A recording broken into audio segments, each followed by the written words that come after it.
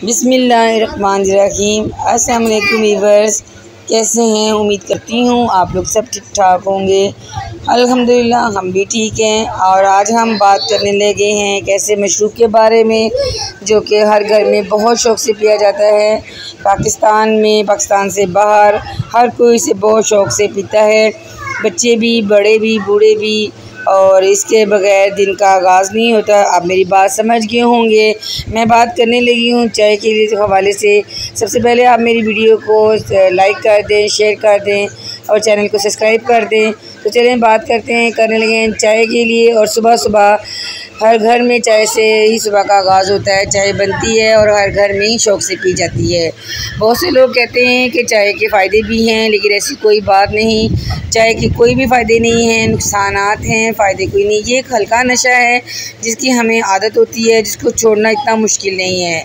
Start में मैं भी तीन से चार चार से पाँच कप पी लेती थी, लेकिन अलहमदिल्ला अब मैं काफ़ी हद तक एक से दो कप में आ गई हूँ और वो भी कोशिश करूँगी कम कर दूँ। आप लोग भी इसको कोशिश करें, इसको छोड़ दें और ये अच्छी चीज़ नहीं है, हमारे घरों में बच्चों को भी बहुत शौक़ से पिलाती हैं माएँ और दूध छोड़ने के बाद चाय पे लगा देते हैं। आजकल के बच्चे भी चाय नहीं छोड़ते। तो कोशिश करनी चाहिए। बच्चे तो बिल्कुल भी इसका, इसको ना लें स्टार्ट में, क्योंकि ये एक निकोटीन है इसमें और ये नशा ही है, जो कि अभी से अगर बच्चे शुरू करेंगे तो फिर काफ़ी उम्र के साथ साथ इसमें इसका पीने का शौक़ ज़्यादा बढ़ता जाएगा। तो बात करते हैं इसके साथ मेजर नुकसान की। तो इसमें जो नुकसान होता है, इसमें इंसान में आयरन की कमी हो जाती है, ज़्यादा कप चाय पीने से कब्ज़ हो जाती है।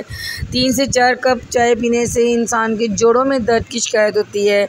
इसके अलावा मोटापा बहुत ज़्यादा हो जाता है, नींद बहुत कम आती है ब्लड प्रेशर का मसला होता है, मैदा ख़राब हो जाता है और मैदा ठीक से काम नहीं करता, इंसान को सारा दिन थकावट महसूस होती है।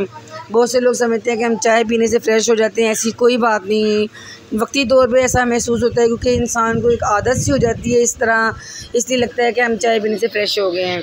तो कोशिश करनी चाहिए कि हम इसको छोड़ दें। अगर अभी छोड़ नहीं सकते तो आहिस्ता आहिस्ता इसको कम करें और वक्त के साथ साथ ये बिल्कुल कम हो जाती है। क्योंकि ये इतना कोई मुश्किल बात नहीं है, ये एक हल्का नशा है जिसको छोड़ना मुश्किल नहीं।